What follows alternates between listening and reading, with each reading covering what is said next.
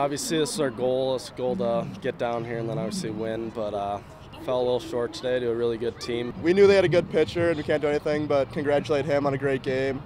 Um, they're one through nine. All of them can hit. All of them could hit. Yeah, they're really good. They're built one through nine, and they just could hit the ball today in places that we weren't.